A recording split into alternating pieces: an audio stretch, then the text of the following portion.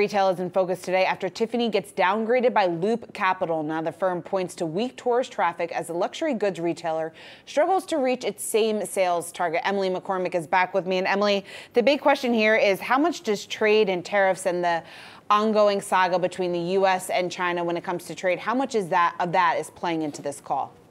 Well, this call had very little to do with what Tiffany is doing operationally. Uh, the analyst on this, Laura Champine, actually said that the product pipeline and the operational efficiency of Tiffany has been very good in the recent months. Uh, but really, this has everything to do with the macroeconomic picture and trade tensions, and specifically tourism. So, if we look back to the most recent quarter, earlier in June, Tiffany reported that it had a drop in sales to tourists visiting the United States. That drop steepened to 25% last quarter from a year earlier, and that decline was even steeper among travelers from China, although Tiffany did not give a specific number on that decline. So that's a threat for all major luxury companies. If we look back, PVH, which owns Calvin Klein and Tommy Hilfiger, also called out a similar concern about tourism and about some of these travelers coming and spending money in the United States. So revenue from the Americas represents 40% of Tiffany's total sales. So to see that getting chipped away into uh, is something that is really concerning for the company, and that's what's uh, underscoring this call.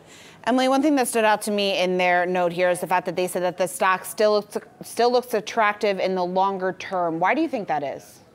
Well, right now there's just a lot of uncertainty around the trade tensions and around just the pace of global growth. So if we think about the slowdown that has been happening in economic data in China and abroad, that's something that's going to carry over to these luxury retailers, which have a little bit more elasticity uh, in terms of demand. So that's something that is really underscoring this.